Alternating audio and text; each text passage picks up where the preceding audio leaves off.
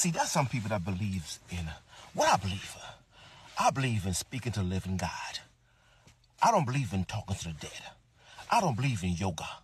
Because yoga means to yoke your body with demonic forces. I don't believe in talking to the dead. Because anytime you're talking to the dead, you're talking to demons. You're talking to the devil. You might as well believe in ghosts and goblins. What I believe, I believe in the spirit of the living God. Because God is the God of the living and he's and he's the God, hallelujah, that is the God of Abraham and Isaac and Jacob. So there are people that believe in an Egyptian uh, uh, uh, understanding, but I believe of me, a Christian, I believe in the ultimate, the God of the universe. So what do you believe? What do you believe about the dead?